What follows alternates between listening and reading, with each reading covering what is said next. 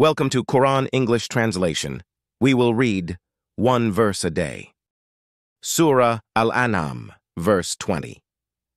Those to whom we have given the scripture recognize it as they recognize their own sons. Those who will lose themselves in the hereafter do not believe.